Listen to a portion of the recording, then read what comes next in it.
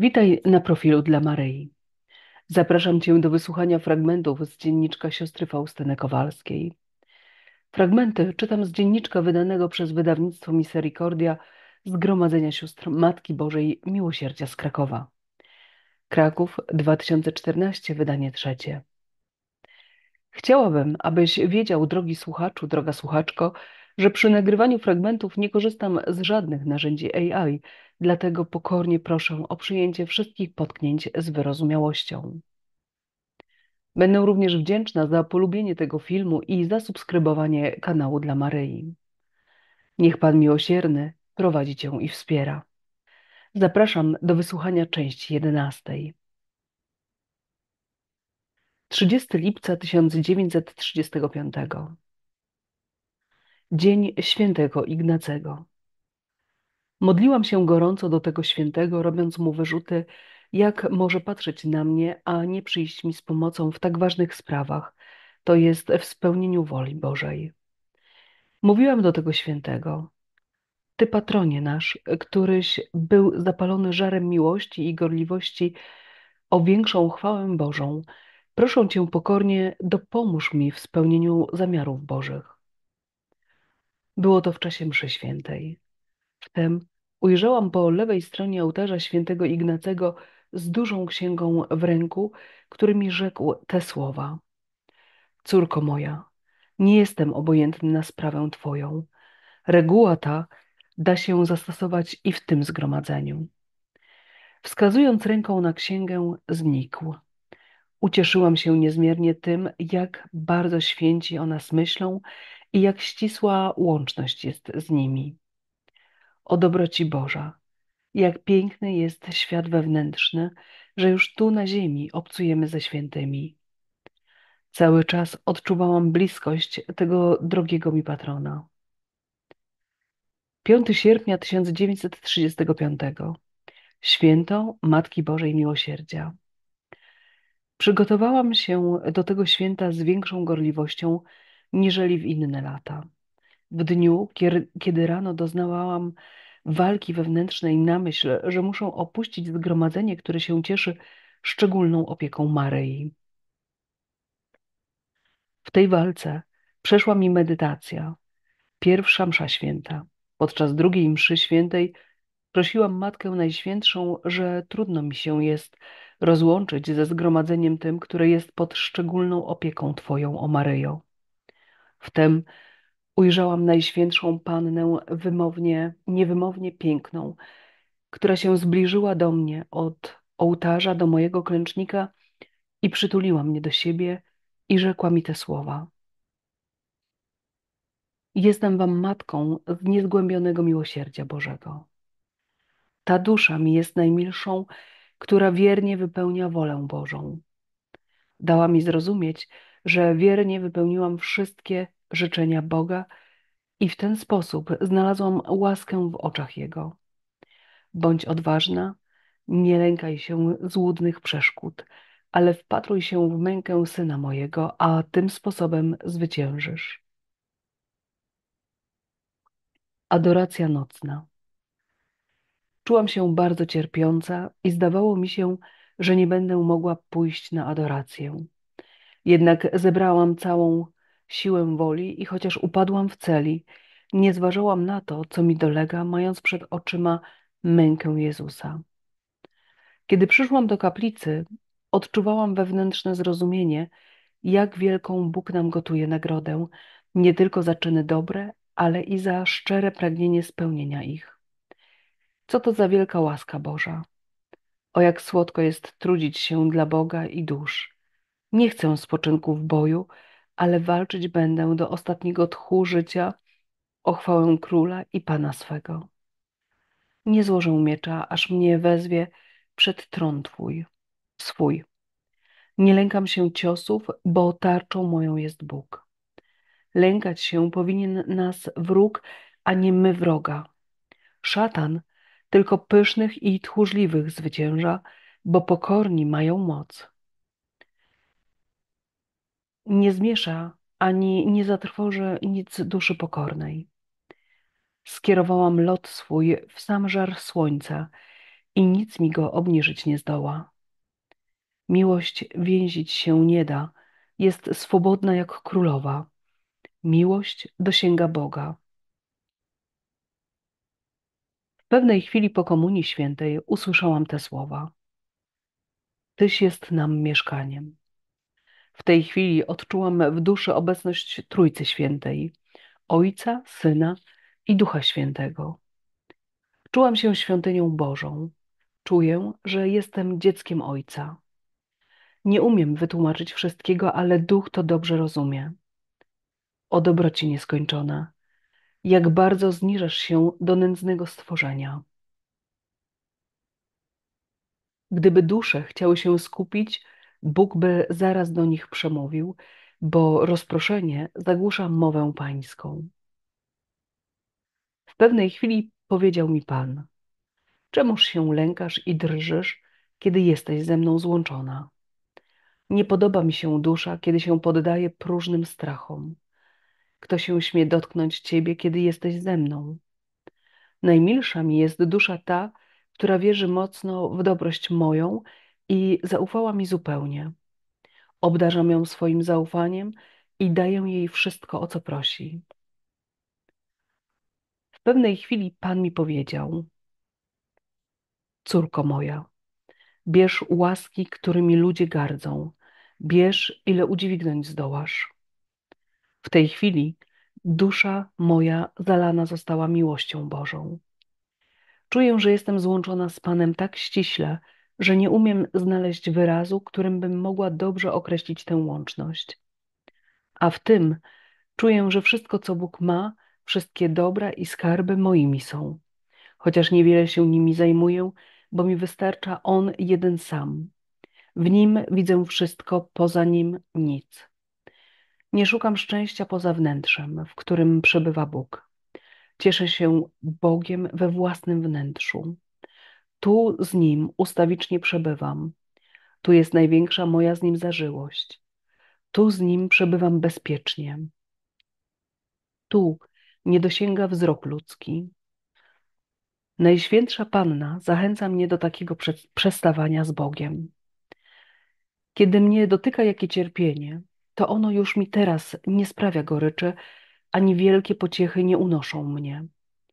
Owładnięta jestem pokojem i równością ducha, która płynie z poznania prawdy. Cóż to szkodzi mi żyć otoczona sercami niechętnymi, gdy mam pełne szczęścia w duszy własnej?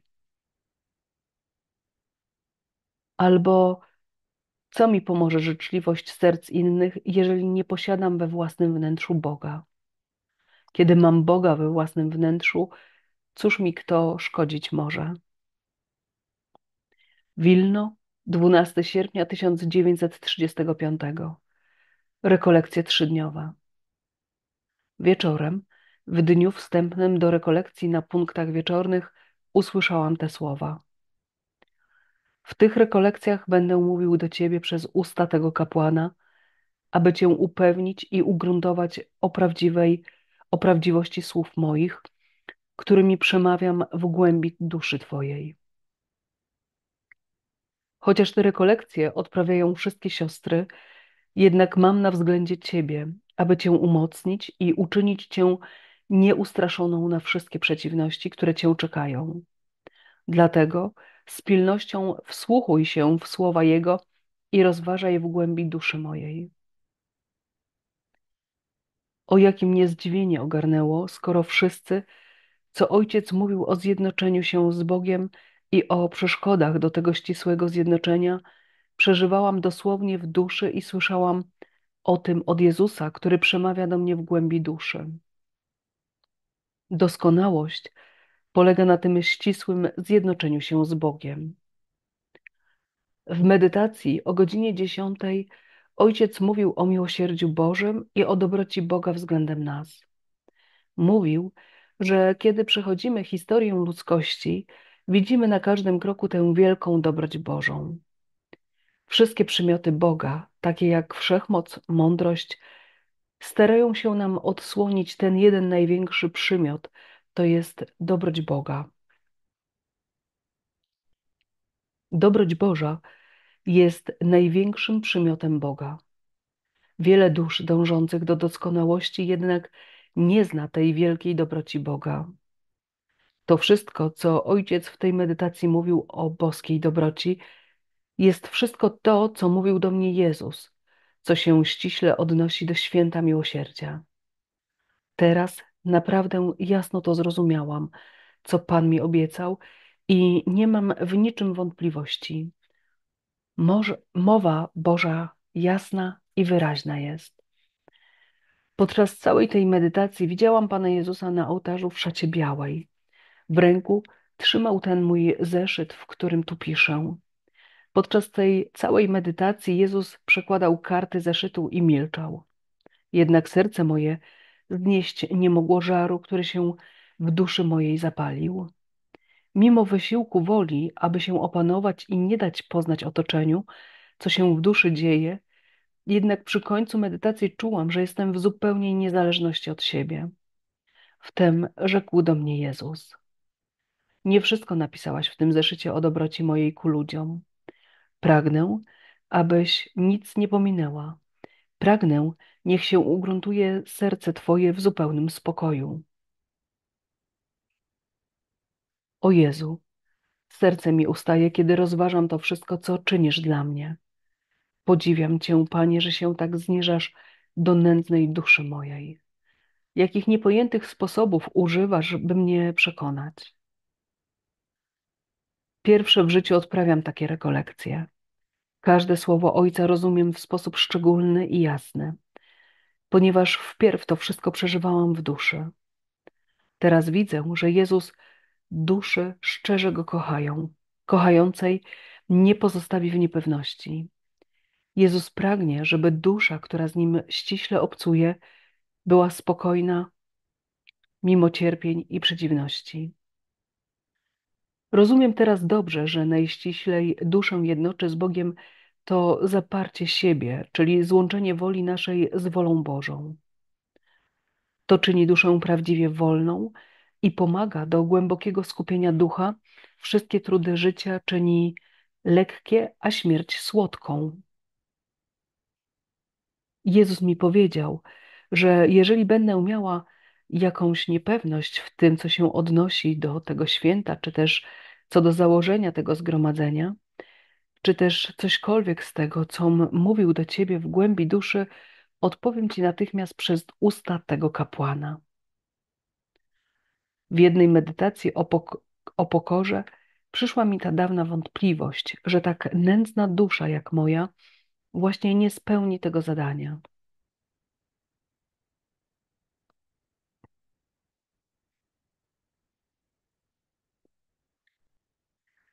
Tej samej chwili, kiedy rozbieram tę wątpliwość, kapłan, który daje rekolekcję, przerywa wątek tej nauki i mówi właśnie to, w czym mam wątpliwość, mianowicie, że Bóg wybiera przeważnie najsłabsze i najprostsze dusze za narzędzia do przeprowadzenia swoich największych dzieł. I to jest prawdą niezaprzeczalną. Bo spójrzmy, kogo wybrał na apostołów. Albo spójrzmy w historię Kościoła, jak wielkich dzieł dokonały dusze, które były, były najmniej zdolne do tego, bo właśnie w tym się okazują dzieła Boże, że są Bożymi. Kiedy mi zupełnie ustąpiła wątpliwość, kapłan wrócił do dalszego tematu o pokorze. Jezus stał, jak zwykle podczas każdej nauki na ołtarzu i nic mi nie mówił, ale łaskawie przenikał swym wzrokiem mą biedną duszę, która nie miała żadnej wymówki. Jezu, żywocie mój. Czuję to dobrze, że mnie przemieniasz w siebie, w tajni duszy, gdzie zmysły niewiele spostrzegają. O Zbawicielu mój, ukryj mnie całą w głębi serca swego i osłaniaj je swymi promieniami przed wszystkim, co nie jest Tobą. Proszę Cię, Jezu, niech te dwa promienie, które wyszły z najmiłosierniejszego serca Twego, zasilają nieustannie moją duszę. Chwila spowiedzi. Zapytał mnie spowiednik, czy w tej chwili jest Pan Jezus i czy go widzę. Tak, jest i widzę go. Każe mi się zapytać o pewnych osobach. Jezus nic mi nie odpowiedział, ale się spojrzał na niego. Jednak po skończonej spowiedzi, kiedy odprawiałam pokutę, Jezus mi powiedział te słowa: Idź i pociesz go ode mnie. Nie rozumiejąc, nie rozumiałam znaczenia tych słów, ale natychmiast powtórzyłam to, co mi Jezus kazał. Przez całe rekolekcje bez przestanku obcowałam z Jezusem i zżyłam się z Nim całą mocą serca swego. Dzień odnowienia ślubów. W początku mszy świętej widziałam Jezusa tak jak zwykle, który błogosławił nam i wszedł do tabernakulum. Wtem ujrzałam Matkę Bożą w szacie białej, w niebieskim płaszczu z odkrytą głową, która się zbliżała do ołtarza, do mnie i dotknęła mnie swymi dłońmi i okryła swym płaszczem i rzekła mi: Ofiaruj te śluby za Polskę. Módl się za nią 15 sierpnia. Tego samego dnia wieczorem uczułam w duszy wielką tęsknotę za Bogiem. Nie widzę go w tej chwili oczyma ciała, jak dawniej, ale wyczuwam go, a nie pojmuję. To mi sprawia tęsknotę i mękę nie do opisania. Konam z pragnienia, by go posiąść, by w nim zatonąć na wieki.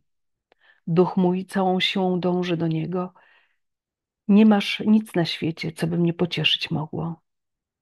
O miłości wiekuista, teraz rozumiem, jak w ścisłej zażyłości było serce moje z Tobą. Bo cóż mnie zadowoli w niebie albo na ziemi oprócz Ciebie, o Boże mój, w którym utonęła dusza moja. Kiedy w jednym dniu wieczorem spojrzałam ze swej celi w niebo, ujrzałam śliczny fragment zasiany gwiazdami i księżyc. Wtem wstąpił w duszę moją ogień miłości niepojęty ku Stwórcy mojemu. A nie umiejąc znieść tęsknoty, która wzrosła w duszy mojej ku niemu, padłam na twarz, korząc się w prochu. Uwielbiałam go za wszystkie twory jego, a kiedy serce moje znieść nie mogło tego, co się w nim działo, zapłakałam głośno. Wtem dotknął mnie anioł stróż i rzekł mi te słowa. Pan mi każe ci powiedzieć, abyś się podniosła z ziemi. Co natychmiast uczyniłam, ale w duszy nie zostałam pocieszona.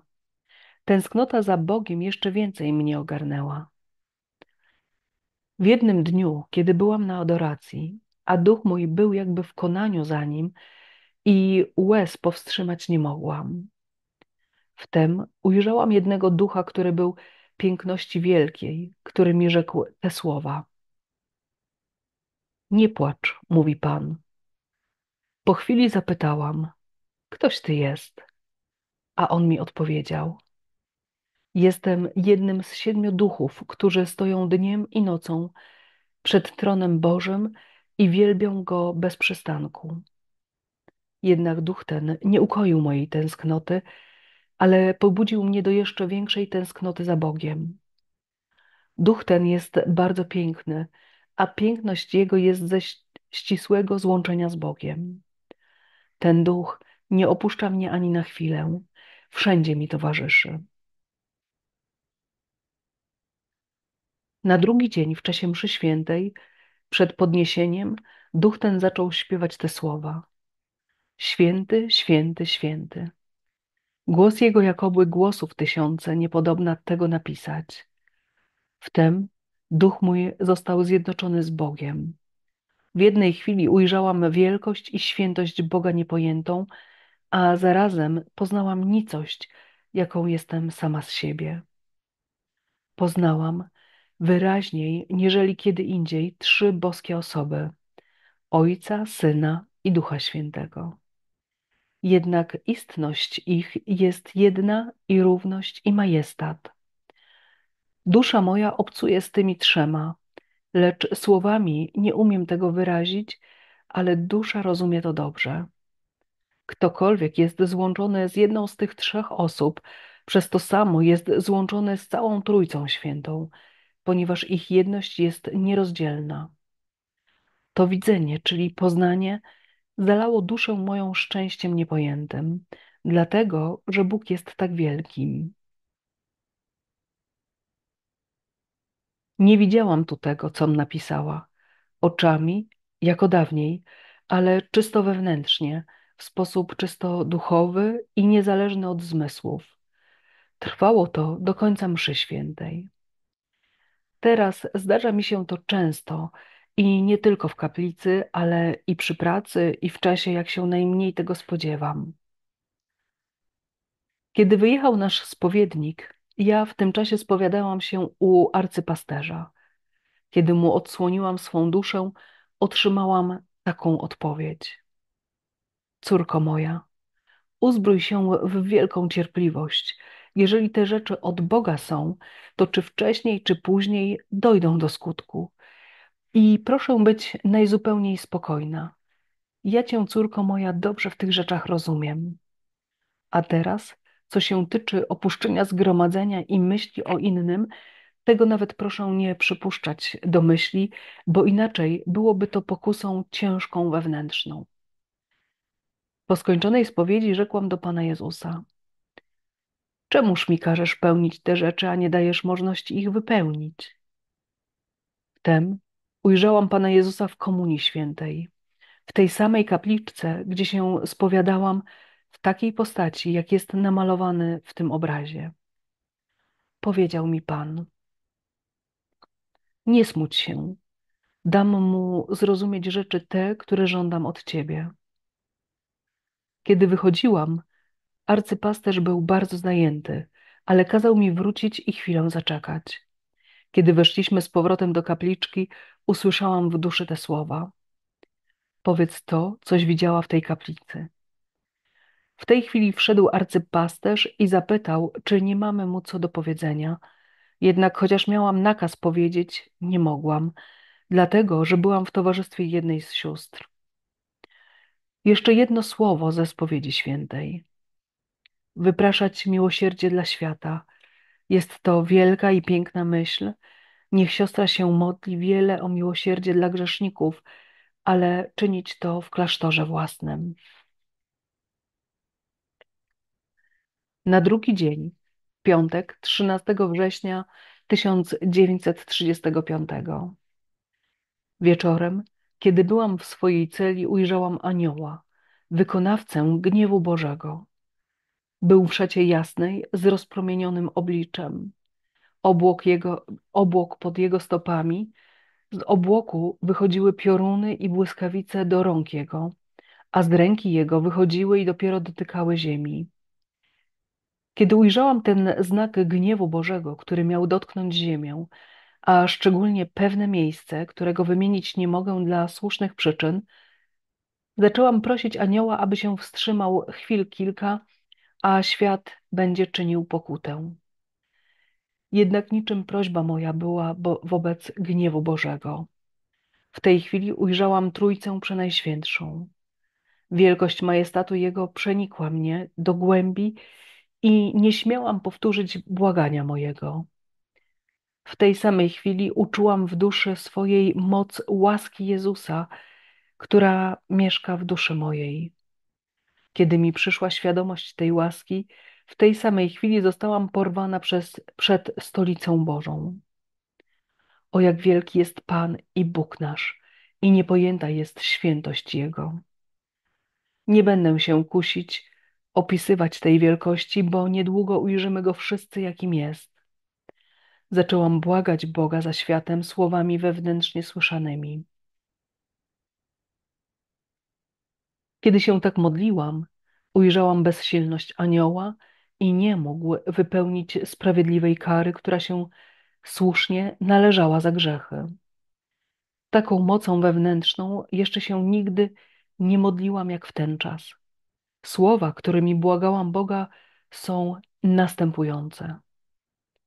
Ojcze Przedwieczny, ofiaruję Ci ciało i krew, duszę i bóstwo najmilszego Syna Twojego, a Pana naszego Jezusa Chrystusa, za grzechy nasze i świata całego. Dla Jego bolesnej męki miej miłosierdzie dla nas.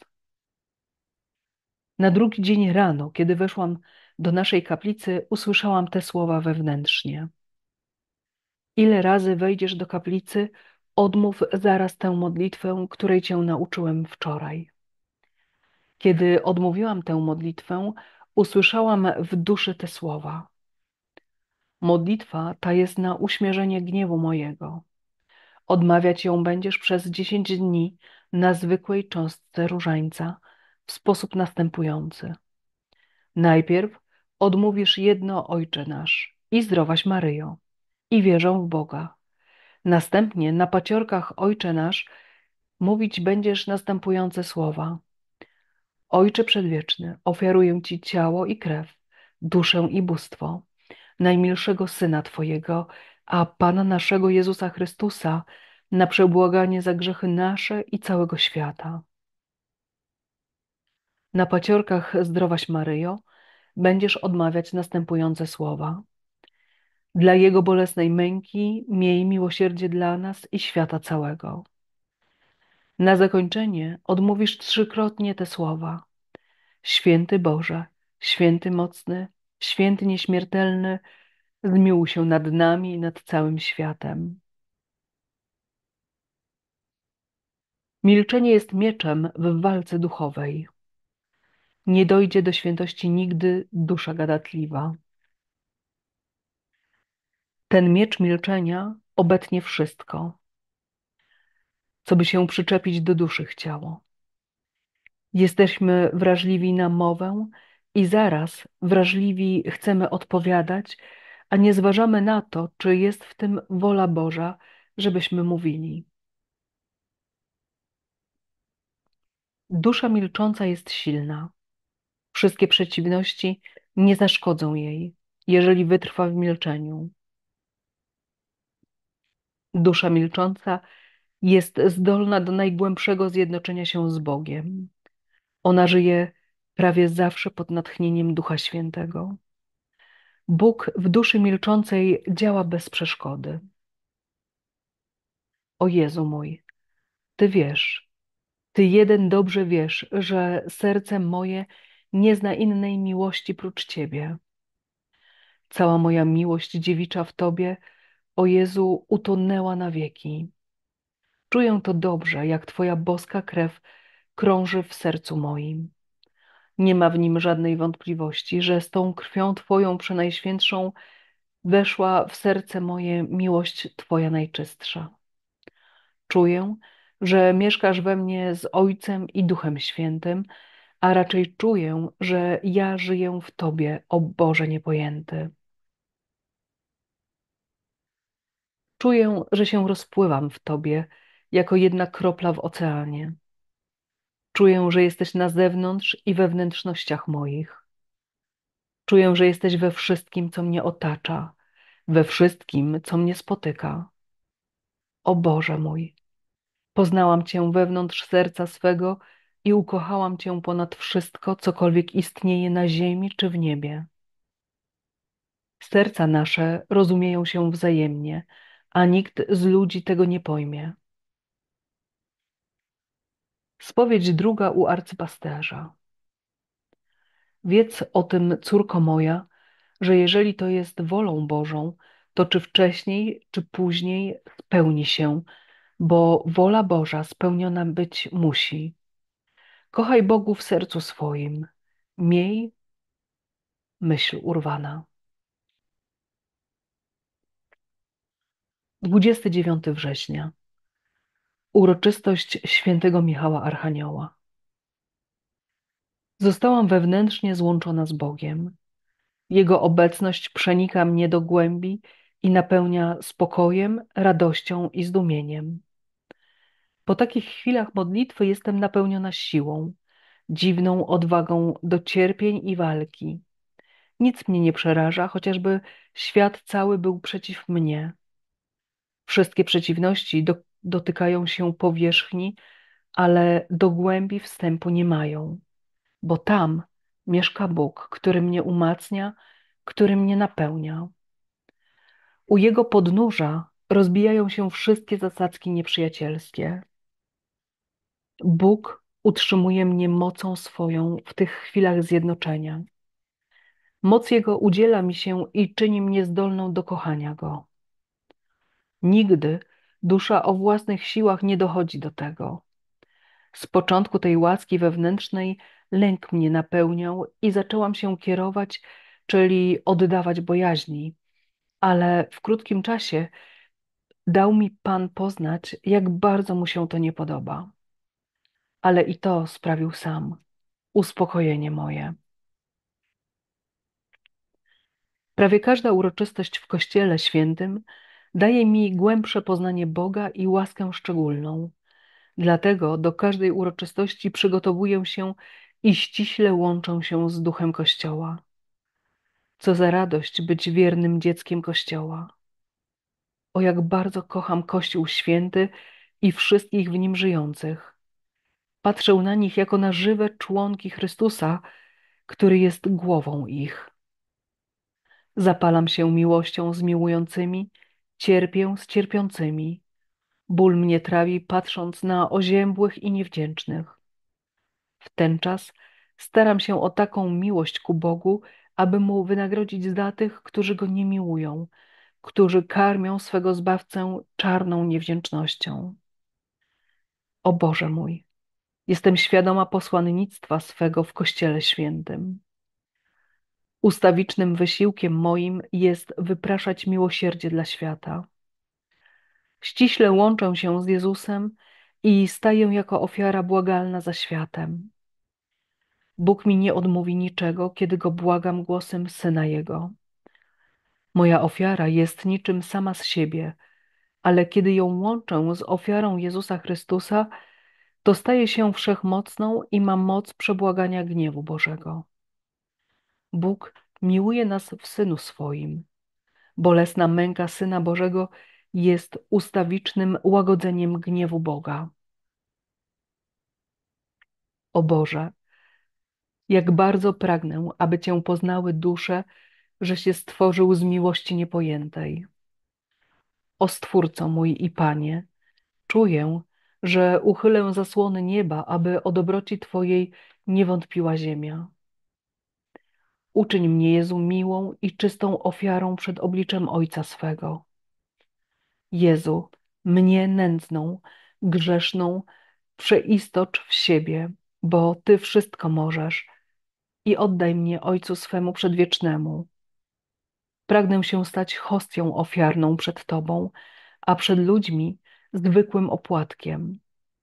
Pragnę, aby woń mojej ofiary była znana tylko Tobie. O Boże wiekuisty, pali się we mnie ogień nieugaszony błagania Ciebie o miłosierdzie.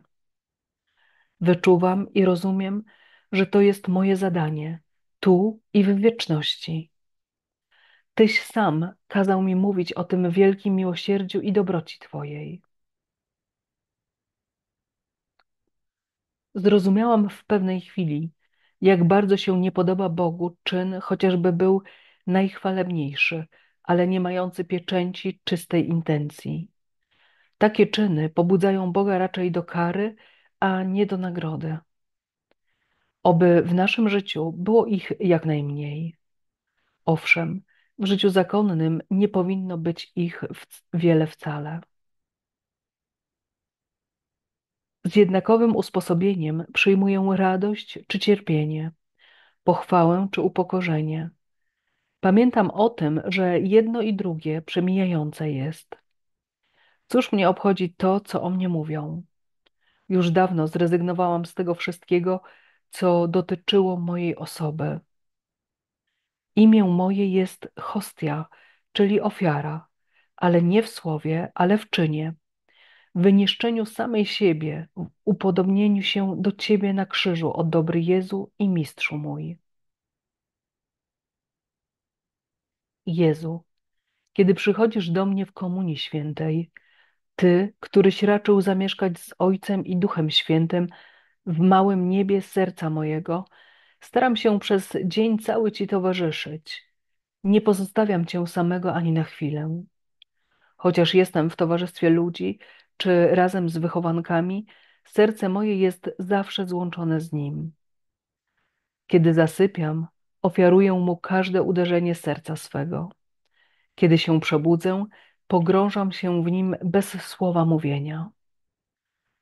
Kiedy się przebudzę, chwilę wielbię Trójcę Świętą i dziękuję, że raczyła mi darować jeszcze jeden dzień, że jeszcze raz się powtórzy we mnie tajemnica wcielenia Syna Twojego, że jeszcze raz w oczach moich powtórzy się bolesna męka Twoja. W ten czas staram się ułatwić Jezusowi, aby przeszedł przeze mnie do dusz innych. Z Jezusem idę wszędzie. Obecność Jego towarzyszy mi wszędzie. W cierpieniach duszy czy ciała staram się milczeć, bo w ten czas duch mój nabiera mocy, kiedy płynie z męki Jezusa. Stale mam przed oczyma Jego bolesne oblicze, znieważone i zeszpecone. Jego boskie serce przebite grzechami naszymi, a szczególnie niewdzięcznością dusz wybranych. Dwukrotne upomin- upomnienie, abym się przygotowała na cierpienia, które mnie czekają w Warszawie. Pierwsze upomnienie było wewnętrzne, przez słyszalny głos. Drugie było w czasie mszy świętej.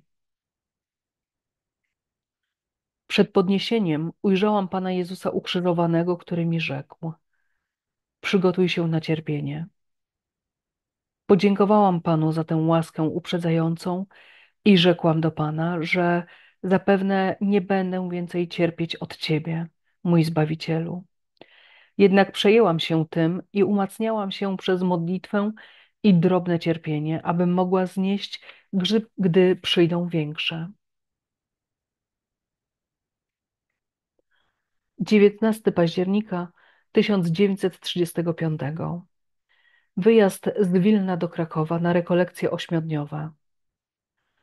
W piątek wieczorem, w czasie różańca, kiedy myślałam o jutrzejszej podróży i o ważności sprawy, którą miałam przedstawić ojcu Andraszowi, lęk mnie ogarnął, widząc jasną nędzę i nieudolność swoją, a wielkość dzieła Bożego.